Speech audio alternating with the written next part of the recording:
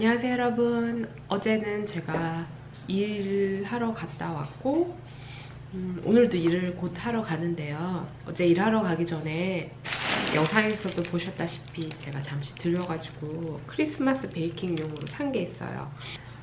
사실 이 크리스마스용으로 컵케이크를 만들어 볼까 하는데 크리스마스 분위기가 나는 컵케이크 컵 을 사러 갔다가 아니나 다를까 다른 것도 좀 몇 개 산 게 있어가지고 보여드리려고요. 이거는 윌튼에서 나온 컵케이크 컵인데 귀여워요. 바닥에는 이렇게 어, 트리가 있고 옆에는 이렇게 그 크리스마스 장식 볼들이 이렇게 막 있어요. 귀엽죠? 그래서 여기다가 음, 컵케이크를 하나 만들어 볼까 합니다. 그리고 간 김에 이제 산 것들이 있는데 강아지용 쿠키를 한번 만들어 볼까 하거든요. 제 동생이 음, 한국에서 강아지를 데려와가지고 지금 강아지를 기르고 있는데 그 강아지한테 줄 그 도구 쿠키예요. 제가 어디로? 옳지. 갈색 푸들이에요. 귀엽죠? 이름은 호두.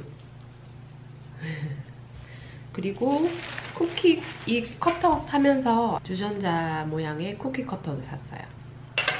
샀고 그리고 제가 그 아이싱 쿠키 위에 이제 그림을 그려볼까 하는데 그 그림을 그릴 때 가루 색소가 좋더라고요. 그래가지고 제가 일본에서 사온 게 빨강, 노랑, 초록이 있는데 파랑이 없어서 이제 파랑을 사가지고 왔어요. 그리고 나머지 여기 보시면 크리스마스 레드라고 어, 크리스마스 분위기가 나는 빨간색 색깔의 색소인가 봐요. 그래서 신기해가지고 음, 사가지고 왔어요.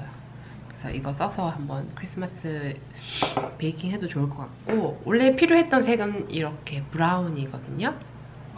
제가 버터크림 케이크를 만들 때 그 색소를 너무 빨갛게 하거나 노랗게 하거나 이렇게 원색적인 색보다는 약간 바랜 듯한 색의 버터크림 장식이 어, 유행이더라고요. 그래가지고 그렇게 한번 해보려고 하면 색을 이제 탁하게 만들어야 하는데 그 색을 탁하게 할 때 식용색소를 갖고 싶어가지고 brown색 사본 거예요. 그리고 아까 그 파우더 이거를 이제 icing 쿠키 위에 색칠을 할 때 이제 파우더니까 물을 섞어야 되는데 물은 마르는데 시간이 꽤 걸리고 그래서 대신 쓰는 게 바로 보드카거든요. 술을 쓰면 빨리 날아가서 빨리 말라요. 이제 그 색칠용으로 쓰려고 사가지고 왔어요.